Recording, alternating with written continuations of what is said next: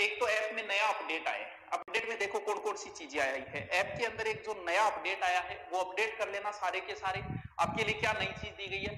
अब पीछे जो है, हम वीडियो अपलोड करते थे। जैसे हमने शुरुआत में धीरे धीरे सुधार होता है। शुरुआत में हम वीडियो अपलोड करते थे तो हर कोई किसी का कमेंट पढ़ सकता था।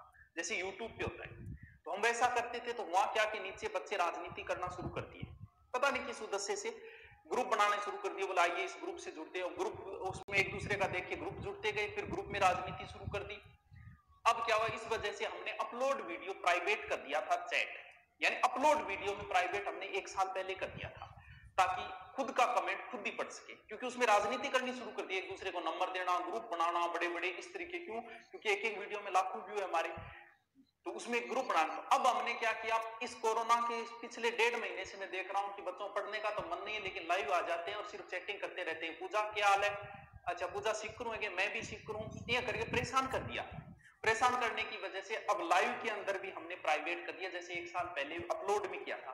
खुद का कमेंट खुद देख सकता है टीचर सबके देख लेगा। हाँ भाई, सारा बता रहे ये मजबूर होके करना पड़ा तो पुराने जिनको है, वो समझ जाएँगे। थोड़ा सा नहीं लगता माहौल नहीं बनता, लेकिन मजबूरी होगी करना पड़ा। ई पेपर का मतलब हम एक नई चीज़ ये